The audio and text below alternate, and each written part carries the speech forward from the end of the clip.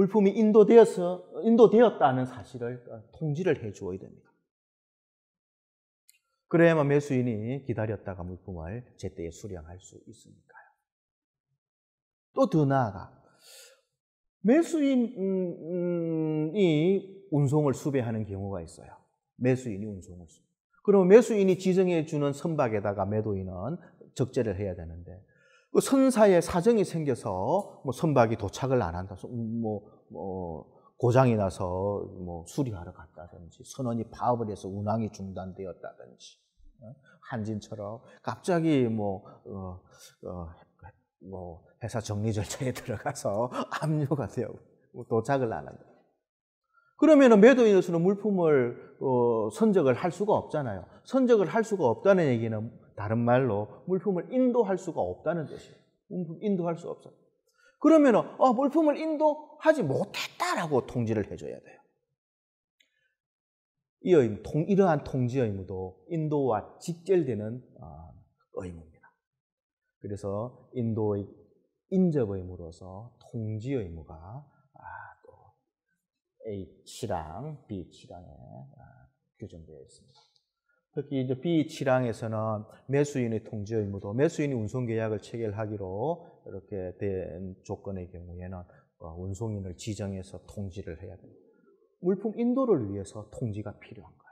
다른 통지는 인코텀즈는 신경 안 씁니다. 물품 인도에 관한 통지하여야 한다는 의무가 A7, B7에 규정되어 더 나아가 또 인도와 직결되는 A8항, B8항에서 물품이 인도되었으면 인도되었다는 증거 서류를 제공을 해야 됩니다. 인도와 직결되는 물품 인도된 사실만으로는 부족하고 인도가 이루어진 사실을 증명하는 서류를 매도인은 제공을 해야 합니다. 인도와 직결된. 어, 그 다음에 A 8항, 어, A 9항, B 9항의 경우에는 물품을 그 인도할 때에 물품의 개수가 제대로 맞는지, 중량이 맞는지, 어, 뭐 물품에 뭐 하자가 없는지 등등 체킹할 의무, 포장할 의무, 어, 물품이 운송을 견딜 수 있도록 포장할 의무, 마킹, 그러니까 화인 표시라고 합니다. 무역에서 저는 좀뭐 단순히 표시하는 것이 아니고 운송 중 화물 취급을 용이하기 위해서 화인을 표시하도록 할 의무가.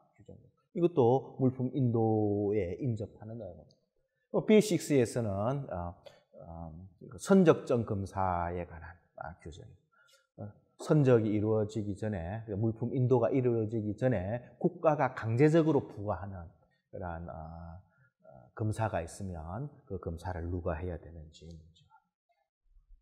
이것이 인 코그 나머지는 뭐다 어, 아주 뭐 일반적인 내용인데 A1, B1에서는 매도인의 가장 기본적인 의무, 뭐 계약에 적합한 물품을 인도해야 된다라는 그 그다음에 상업 성장을 제공해야 된다는 기본적인 의무. 뭐 B1에서는 매수인은 계약에 따라 어, 대금을 지급해야 된다. 그럼 아주 일반적인 선언적인 그런 의무가 있다. 또 B, A10, B10 마지막으로 일반 의무로서 어, 그 협조 의무, 그 협력 제공 의무라고도 하는데 협조 의무가 규정되어 있고 상대방으로부터 협조를 받았으면 그에 대해서 대가를 제공해야 된다는 상환 의무, 비용 상환 의무가 규정됩니다. 이거 뭐좀 부차적인 것이고 자 다시 돌아와서 인코텀즈에서 규정하는 가장 핵심적인 사항은 인도, 딜리버리. 인코텀즈가 규정하는 것은 인도, 인도를 어디서 어떻게 하여야 하는가? 인도의 방법과 장소, 장소와 방법. 어디서 어떻게 해야 되는가?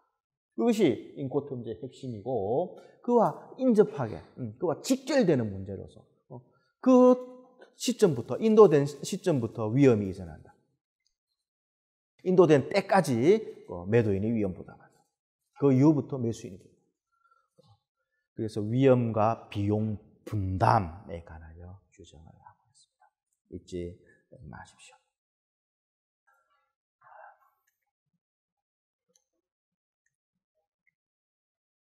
이와 같이 인코텀즈는 어, 물품 인도에 관하여 집중적으로 어, 규정을 하고 있고 이거 이른바 그 유명한 선택과 집중입니다.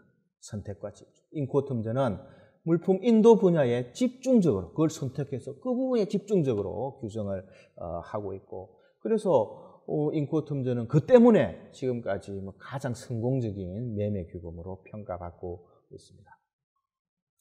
어, 국제 물품 매매를 하면서 인코텀제를 모른다는 것은 아무것도 모른다 모른다는 것과 같은 말입니다. 인코텀제는 그래서 기본적으로 알아야 됩니다. 인코텀제는 이, 이, 음, 물품 인도를 선택한다고 했는데 어, 다른 말로 인코텀제는 이러이러한 것들은 규정하지 않습니다. 예를 들어 화면을 보시듯이 물품의 계약적 합성, 매매 규범이라면 물품이 어, 그 계약에 반할 때, 음, 물품이 흠결이 있을 때 어떻게 되냐라는 것까지 규정을 해야만 그 자족적인 충분한 매매 규범이 되는데 그에 대해서는 아무런 규정하고 있지 않습니다. 이러한 물품 부적합에 관한 문제는 법률을 들여다봐야 되고 거기서 말하는 그 법률은 말씀드린 CISG입니다. CISG. 유엔 협약을 그 들여다봐야 됩니다. 만약에 뭐 유엔 협약 최약국이 아닌 국가와 뭐, 뭐 이렇게 매매를 하게 되어서 CISG조차도 적용되지 않는 상황이라면은 국제사법에 따른 따라 지정이 되는 국내법을 들여다봐야 됩니다. 인코통제는 어, 물품 부적합에 대해서는 규정하지 않습니다. 그 다음에 매수인의 대금 지급 의무를 그 일반적으로 의무가 있다라고 규정만 할 뿐 더 이상 상세하게 규정하지 않습니다. 어, 매도인의 가장 대표적인 의무가 물품 인도, 소유권 이전, 서류 교부 이 세 가지 의무입니다. 그에 반하여 매수인의 대표적인 의무가, 의무가 대금 지급 의무, 물품 수령 의무입니다. 매도인의 대표적인 의무로서 물품 인도 의무를 인코텀즈가 중요하게 뭐, 뭐 집중적으로 규정을 하면서 그 대, 반대편에 있는 매수인의 대금 지급 의무에 대해서는 아무런 뭐 어, 상세한 규정이 없어요. 잊지 마십시오. 인코텀즈는 어, 매도인의 물품 인도 의무에 를 집중적으로 규정을 할 뿐입니다. 이것은 사실 어, 여러분들이 이제 무역을 좀 더 공부하면 금방 왜 그런지를 알 수 있는데 어, ICC 산하에 은행위원회가 있고 그 은행위원회에서 여러 가지 결제 규범들을 그 제정을 하고 있기 때문입니다. 그래서 상사법무위원회 소관이 아니에요. UCP 신용장 통일규칙이나 URDG 청구보증 통일규칙 과 같은 이러한 아, 결제 규범들이 별도로 있고 그럼 뭐 결제 분야는 그 위에서 커버되기 때문에 그 인코통지에서는 전혀 규정하지 않는 겁니다. 또 세 번째로 어, 인코통제는 계약의 성립에 관하여도 전혀 규정하지 않습니다. 매매 규율로는 매우 부족한 것이죠. 완전한 어, 매매 계약 규범이 되려면 계약의 성립부터 다루어야 하는 게 어, 원칙 아닙니까? 그런데 인코통제는 계약의 성립에 관하여 침묵합니다. 이런 방구의 규정도 없습니다. 인코통제는 물품 인도 의무에 만을 집중적으로 아주 어, 어, 규정을 아. 너무 편애하는 거죠. 선택과 집중이 성공을 거두어서 아, 인코통제는 아, 지금까지 이렇게 중요한 국제 규범으로 어, 자리 잡았습니다. 의무 위반도 마찬가지입니다. 물품 인도에 관하여도 이러이렇게 한 의무가 있다라고 규정을 하면서도 그러면 그 의무를 불이행하면 어떻게 되는데? 라는 문제에 관해서는 인코통제 규정하지 않습니다. 의무 불이행, 음, 계약 위반에 대한 구제권의 문제는 법률을 들여다봐야 됩니다. CISG. CISG가 적용되지 않는 경우에는 어, 국제사법에 따라 지정되는 국내법을 들여다봐야 됩니다. 물품 소유권에 관하여도 마찬가지입니다. 그래서 음, 어, 여러분 이제 건축 자재 특히 건축 자재의 조달을 위해서 국제 물품 매매 계약이 체결되는데 이 매매의 법률 문제를 어, 보다 더 완전하게 어, 또 학습을 하려면은 인코통적 외에도 특히 CISG라는 음, 국제 규범을 공부를 또 하여야 합니다. 인코툼즈의 뭐 재정 경위는 여러분 참고로 뭐 봐두십시오. 어, 어, 그 ICC 산하 상사법무위원회 Commission on Commercial Law and Practice, 줄여 CLP라고 부르는데 여기서 관장을 합니다. 지금은 2020 인코텀즈 2020을 어, 제정하는 그, 어, 작업이 막 시작되었습니다. 음, 인코텀즈는 성공을 거두니까 ICC가 상표 등록까지도 어, 하였는데 뭐 크게 중요한 건 아닙니다. 인코텀즈의 인코텀즈 2010으로 넘어오면서 대표적인 개정 사항이 여기에 있는데요. 어, 요거 음, 뭐 DAT와 DAP가 신설되었다. 요 점만 잊지 마십시오. 과거에는 DAF, DES, DQ, DDU 이런 여러 가지 D 조건들이 여러 개 있었는데 어, 그 실무에서 별로 사용이 안 돼요. 근데 이런 바 그래서 구조조정 당했습니다. D 조건이 이렇게 폐지가 되고 어, DAT, DAP로 간략하게 통합, 발전 어, 시켜버렸습니다. 그 상세한 내용은 뒤에서 이제 볼 거니까요. 그 DAT는 Delivered at Terminal이라는 것의 그 약자인데 목적지 운송 수단로부터 양화된 상태로 매수인의 처분하에 두는 것이 인도입니다. 그 DAP, P는 그냥 플레이스예요. 요 위에 T는 터미널이니까 여기 터미널은 그거 그 화물 터미널을 얘기하는 것이거든요. 아주 일반적인 개념이에요. 그 항구가 될 수도 있고 공항이 될 수도 있고 뭐 기차역이 될 수도 있고 어, 뭐 어, 그렇습니다. 그거는 아주 일, 어, 아주 넓은 의미의 그 터미널이고 그 터미널에서 인도된다는 것인데 이 DAP 할 때 이 프레이스는 일반적으로 장소라는 뜻이고 이것은 도착지에서 내륙의 음, 그 어느 장소라는 뜻이 됩니다. 우리가 국제 물품이 외국에서 어, 들어올 때그 아무 곳으로 들어올 수 없습니다. 이른바 개항, 개항이라는 것이 관세법상의 용어인데 개항. 어, 그 외국 물품을 국내로 반입할 수 있도록 허용된 어, 항구나 공항을 말합니다. 개항.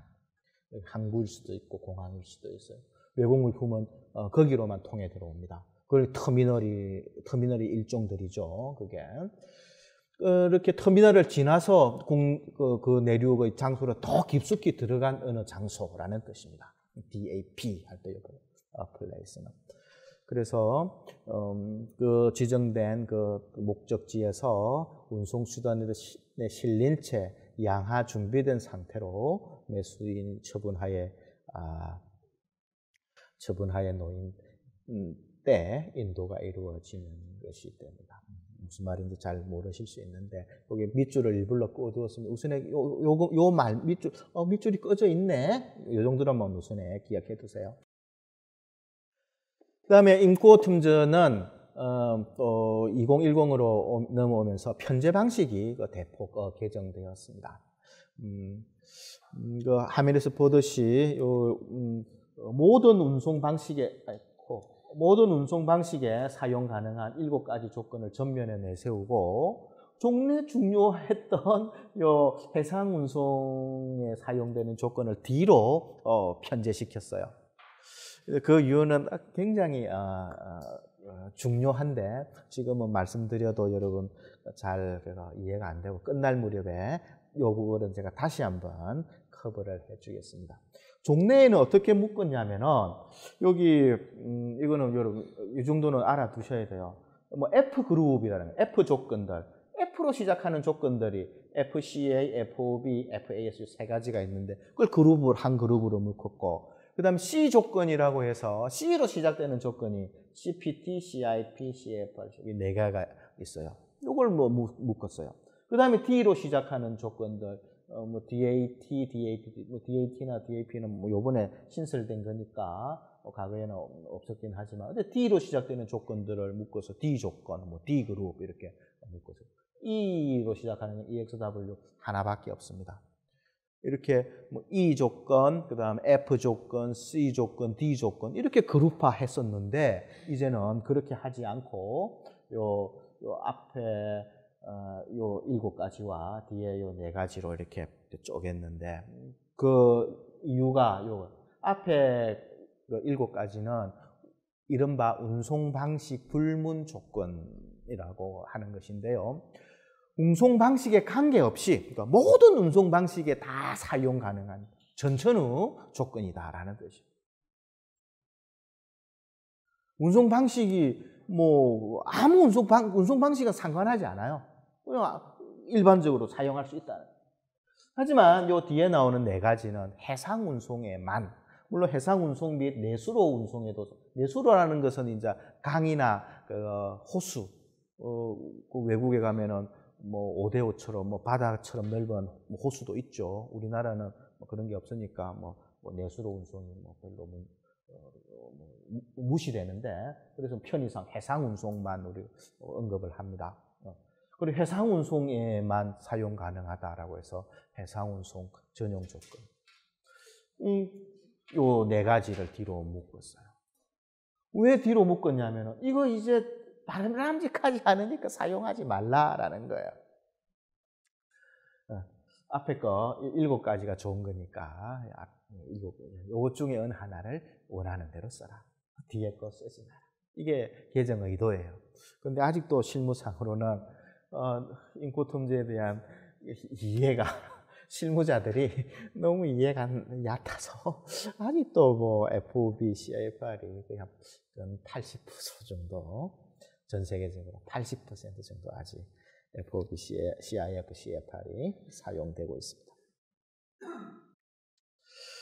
요거는 지금은 말씀드려도 그잘 귀에 안 들어오니까 아.